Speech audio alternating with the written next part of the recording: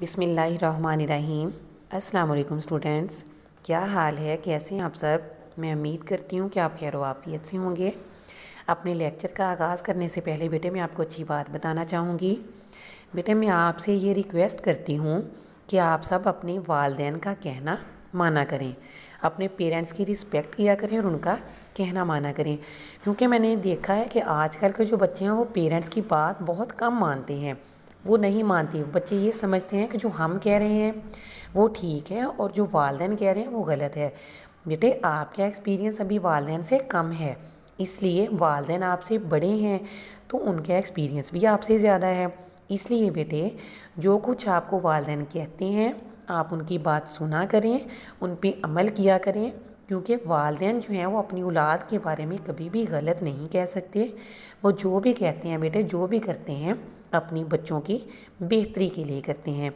इसलिए आप मेरे साथ प्रॉमिस करें आज कि आप सब अपने अपने पेरेंट्स का कहना माना करेंगे और जो वो आपसे कहेंगे, आप उनकी हर बात को फॉलो करेंगे। ठीक है? अब हम आते हैं अपने लेक्चर की तरफ़।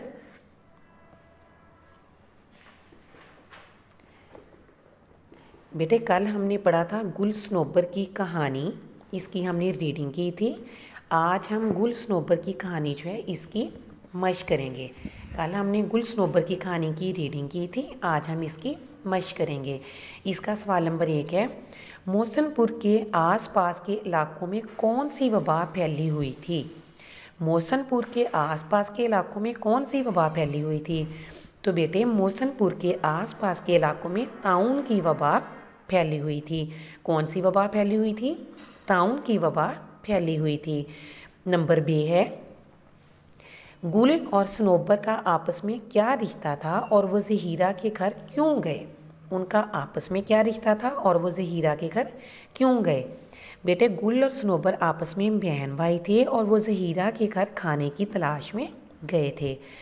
नंबर जीम जहीरा अपने गुनाह का कुफारा कैसे अदा करना चाहती थी? जहीरा अपने गुनाह का कुफारा कैसे अदा करना चाहती थी? जहीरा गुल को आज़ाद करके अपने गुनाह का कुफारा अदा करना चाहती थी।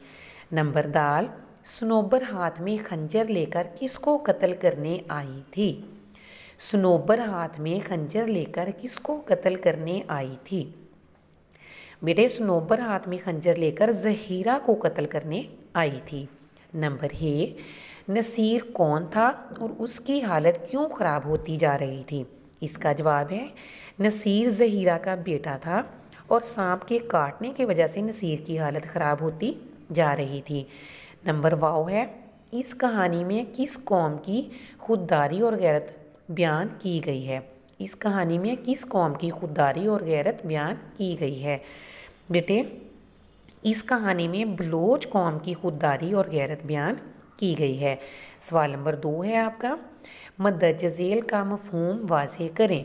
हो का आलम, खामोशी या सनाटा आदमजाद, इंसान, बेगौर कफन, बग़ैर कफन के और बग़ैर दफन के। खौफजदा, डर की हालत में। मार्गजीदा, सांप का डसा हुआ। बेटे आप इनके जो मानी और मफहूम है ना, वो इसके ऊपर ही लिख लें, अंडरलाइन करें और इसके ऊपर ही लिखते जाएँ। ठीक है? बेटे उसके बाद है जहीरा के बेटे नसीर की जान किसने और किस तरह बचाई थी, ये आपने तफसील से बताना है। जहीरा के बड़े बेटे नसीर को सांप ने काट लिया। वो अपने बच्चे का सर अपने गोद में रख के रो रो कर अल्लाह ताला से इसकी ज़िंदगी की दुआ करने लगी। जब स्नोबर ने यह देखा तो बाहर से ऐसे पौधे की पत्तियाँ तोड़ लाई, जिसके अर्क से सांप की जहर का असर ज़ायल हो जाता है। जब इन पत्तियों का अरक निचोड़कर नसीर के मुँह में टपका दिया गया तो अरक के कतरे नसीर के मुँह में जाते ही उसने फ़ौरन आँखें खोल दी और अपनी माँ की तरफ़ देखा। ठीक है? उसके बाद बेटे सवाल नंबर चार है, दुरुस्त जवाब की निशान, निशानदही सही टिक लगा कर। करें ठीक है? दुरुस्त जवाब की निशानदही, ये सही का निशान, यानी टिक लगा कर करें। नंबर अलिफ है मोहसिनपुर के वसी मैदान में किसने अपनी बस्ती बना रखी थी? मोहसिनपुर के वसी मैदान में किसने अपनी बस्ती बना रखी थी? तो बेटे, ये आएगा बलोचों ने। किसने बना रखी थी? बलोचों ने। ये हमने सबक में भी पढ़ा है। बलोचों ने बना रखी थी। उसके बाद नंबर बी है मौसनपुर के आसपास के इलाकों में कौन सी वबा फैली हुई थी? कौन सी वबा फैली हुई थी? ताउन की। कौन सी वबा फैली हुई थी? ताउन की। नंबर जीम तीन चार दिन के अंदर झोंपड़ियाँ किससे खाली हो गई? मकीनों से। मकीन बेटे किसको कहते हैं? रहने वाले। जो उनके अंदर रहने वाले थे, उनसे झोंपड़ियाँ खाली हो गई। उसके बाद है नंबर दाल। गुल ने हसरत भरी नज़रों से बहन की तरफ़ देखकर हाथ कहाँ रखा?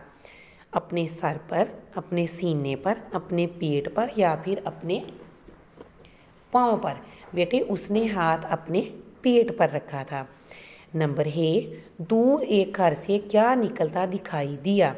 आदमी, बुज़ुर्ग, पानी या धुआँ? बेटे, धुआँ निकलता हुआ दिखाई दिया था। सवाल नंबर पाँच है, दर्ज झेल दर्ज झेल तरकीब मुहावरात को जुमलों में इस तरह इस्तेमाल करें कि इनका मफहूम वाज हो जाए। इनको बेटे आपने अपने जुमलों में इस्तेमाल करना है, ठीक है? इनके मानी भी वाजे हो जाएँ और इनका मफहूम भी वाजे हो जाए और इनके जुमले भी बन जाएँ, ठीक है? नंबर वन पे है। नंबर एक, साया मुंडलाना। साया मुंडलाना। खौफ तारी रहना। मौसनपुर के लोगों पर हर वक्त मौत का साया मुंडलाता रहा, ठीक है? नंबर दो, हु का आलिम। हु का आलिम का बेटे, खामोशी या सन्नाटा। बस्ती में हर तरफ़ हु का आलम छाया हुआ था।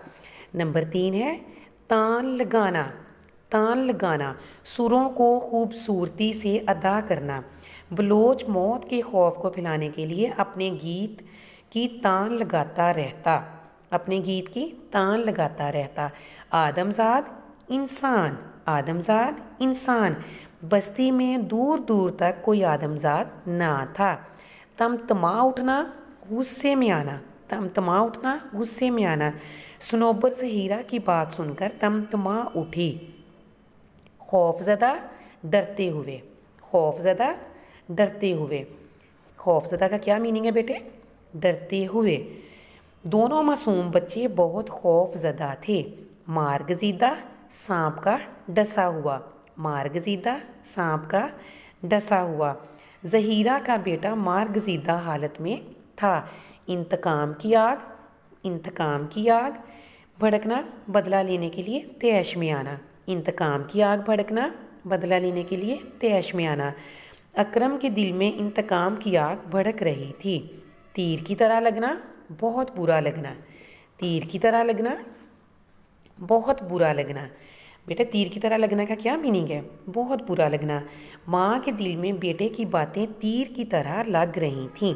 फरिश्ता अजल फरिश्ता अजल किसको कहते हैं? मौत का फरिश्ता। लोगों को हर वक्त फरिश्ता अजल का डर लगा रहता था। नंबर छः, दर्ज झेल के मुतजाद लिखें। इंतकाम लेना, माफ़ कर देना, साया, धूप, वसी, तंग, फैलना, सुकड़ना वीरान, आबाद, पुख्ता, कच्चा। समझ आ गई बेटे आपको? सवाल नंबर सात है। दिए गए वाहद अल्फाज की जमा लिखें। मौत, अमवात, शख्स अशास ऐब, अयूब, तदबीर, तदाबीर, कौम, अकवाम। बेटे इसका सवाल नंबर आठ है। सबक गुल सनोबर की कहानी का खुलासा अपने अल्फाज में बयान करें। तो बेटा ये कहानी हमने सारी पढ़ ली है। तो अब इसका खुलासा आपको खुद से बनाना होगा और मुझे उम्मीद है कि रीडिंग करने के बाद आप इसका खुलासा जब खुद से बना लोगे, ठीक है? आगे है सवाल नंबर नौ, दुरुस्त और गलत बयान की निशानदही करें। अलिफ, मौसनपुर के वसी मैदान में पख्तूनों ने अपनी बस्ती बना रखी थी। गलत, न, गलत पे लगाएँ। बे, बलोचों की झोंपड़ियों में ज़िंदगी के आसार नज़र नहीं आते थे। बेटे, ये दुरुस्त है। नंबर जी, एक झोंपड़ी के दो नन्हे मकीनों को अल्लाह ने अपने अफसोमान में रखा था, दुरुस्त। नंबर दाल, गुल और सनोबर आपस में मोहल्लेदार थे। गलत बेटे वो बहन भाई थे। नंबर हे है, जहीरा ने गुल और सनोबर को खाना खिलाया और शरबत पिलाया। बेटे ये भी गलत है, उन्होंने कुछ नहीं खाया था। नंबर वाओ जहीरा का चेहरा गुस्से से तमतमा उठा, ये भी गलत है। बेटे जहीरा का नहीं तो तमतमा उठा था, ये स्नोबर का तमतमा उठा था। जे इंसान का दिमाग भी अजीब चीज़ है। दुरुस्त। हे, गुल से हीरा के घर से मानूस हो गया था। दुरुस्त, क्योंकि वो मानूस हो गया था। अगले सफ़ा पे आए। सवाल नंबर दस है। कॉलिम अलिफ में दिए गए अल्फाज को कॉलिम बे के मुतल अल्फाज से मिलाएँ। बेटे, कॉलिम अलिफ में है ज़िंदगी, मौत हु कालम सनाटा अलगोज़ा, तान, ताउन, वबा गुना गफ़ारा खुदार गैरतमंद सवाल नंबर ग्यारह है मंदरजा से जुमलों को दुरुस्त करें। बेटे, इसमें अलीफ है, लंदन से तार आई है। बेटे, ये आई गलत है, लंदन से तार आया है। बे दो रुपये की दही लाओ। इसमें की गलत है दो रुपये का दही लाओ। जीम मैंने एक ख्वाब देखी। बेटे, ये गलत है, मैंने एक ख्वाब देखा झाग बैठ जाएगी। ये गलत है झाग बैठ जाएगा। बेटे, मैं उम्मीद करती हूँ कि आपको सबक की समझ आ गई होगी। मैं मिलूँगी इंशाल्लाह अगले लेक्चर में।